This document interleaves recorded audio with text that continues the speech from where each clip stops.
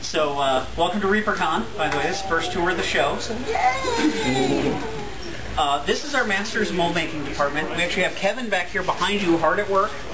Unfortunately, poor Kevin has to work during uh, ReaperCon. We have a contract coming up, and uh, we've got to get the molds ready. We've got to begin on it as soon as the show is over, so we don't have to, can't afford the time to stop. Right. So anyway, in our mold making department, we get the greens from the original sculptors, and I'll step, I'll back up just a moment. The greens are cast in a two-part epoxy resin. One part is yellow, one part is blue. When they are thoroughly mixed, they become green. We call the stuff that we use, that, that two-part resin, we call it green stuff. And we call the sculpts that come as a result of it greens. You can tell we're a very creative bunch. um, you guys can pass this around. This is an actual green. It's already been pressed. Um, try not to drop it because it will Yeah, break. be bad. Um, but it does give you an opportunity to see the level of detail that they sculpt these in. Which, if you're familiar with the figures, you know the level of detail. But So the greens come in from the sculptors, and we take these. These are called mold boxes, Did you watch this? Oh. and they're extremely heavy. Do not drop these on your toes. This is the light one. So we take these mold boxes, we'll lay down layers of uh, rubber and take the green, put that inside it. Now we may have to build up additional pockets of rubber to help support like that axis on a different plane of the body on that particular green. So we lay it down like this and we put a buildup of rubber underneath the axe. And then uh, we put more rubber on top of it, plop the lid on it, seal these shut. Obviously I don't want to do that right now. Um, and then we put it inside the vulcanizers here.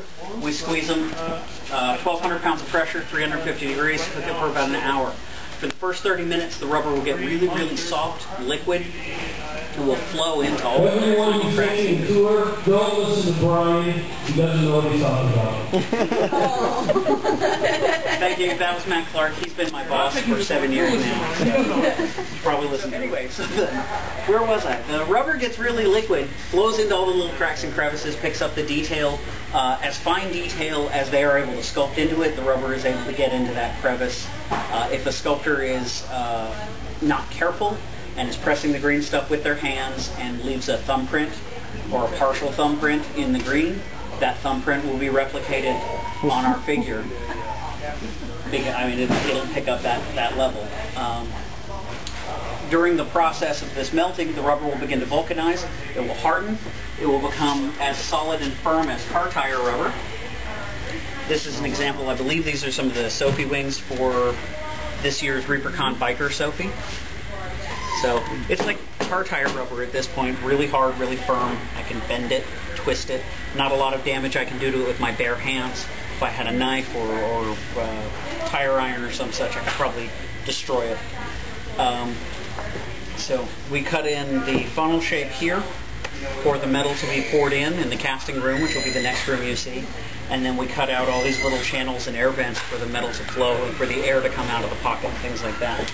Uh, a given mold, we try to have 12 copies of everything on it so that each time we produce it, we're not just producing one, we're making about a dozen or so. That way it's a lot more efficient. Why do you have the newspaper? Uh, the newspaper keeps the mold from creating a vacuum. Inside spin, inside casting, we're going to put it inside a spin caster, and you guys won't be able to get super close because I'm working with 700 degree metal back there, and, and I don't want any of you good to have to be taken to the hospital. Um, you're welcome. uh, but we put it in the spin caster, and we put a metal steel plate on top of it, and there's a hydraulic press in there that squeezes the two halves together to prevent the metal from flowing out where it's not supposed to. And then if you didn't have the paper, if we didn't have the paper, it might create a vacuum, and then we wouldn't be able to lift that steel plate back off. So we put that on there. Um, these these channels on the bottom do the same function as the newspaper on the top. All right. So this is our casting department. We use talc as a release agent. Rubber is really good at stopping things from moving. Um, don't know the uh, the physics term for it. It has a lot of friction, drag, something like that. Anyway, um, you put it on the bottom of your shoes to keep you from continuing to slip as you walk. So when the metal hits the rubber, it actually wants to stop. The, the metal wants to stop, and then what's liquid will continue to try and move, but sometimes that causes some really weird shapes to form in the metal. So we use talc as a release agent. Uh, it basically acts like marbles on a tile floor. So the metal hits the talc and skids across, allowing it to get all the way into all the little nooks and crannies. So I drop this mold down here in the middle, and I'm going to lock this plate down. We're at about 22 pounds of pressure. Uh, got about 45 RPMs right now. When I lock this in, the hydraulics are going to come up. They squeeze the two halves together, and now it's going to begin spinning. My metal, this is our pewter mix, this is our primary Dark Heaven, Warlord, Chronoscope, all that. Not our, our P65 metals. Uh, right now, it looks to be, so we get talc on everything back here. It's about 725 degrees right now which is a little warm, but that's okay. At that temperature, the metal flows like rubber. It pours like flows like rubber. It flows like water. pours like water. Splashes like water if you're not careful. Tastes like water? But it's a lot easier to clean up that water. I'll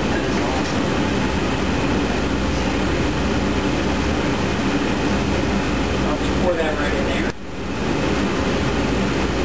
We'll give it about 10 to 15 seconds, and that'll be enough time for that to cool off. I'll be able to pick that out. Go ahead and powder those.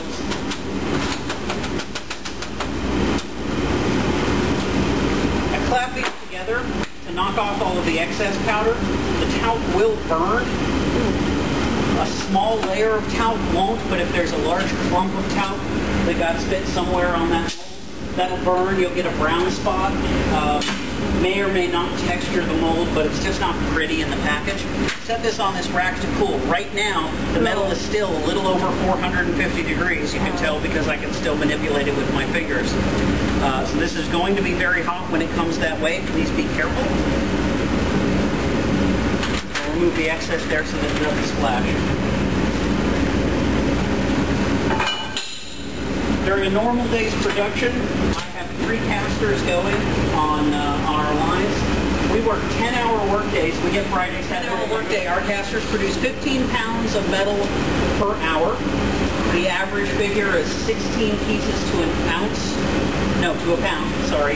One ounce per figure is the average. So it's something approaching 2,500 pieces per hour with three lines going on a 10-hour day. So 7,500 pieces, 75,000, is that correct, per day? Yeah. Yeah, 75,000 miniatures per day that we produce.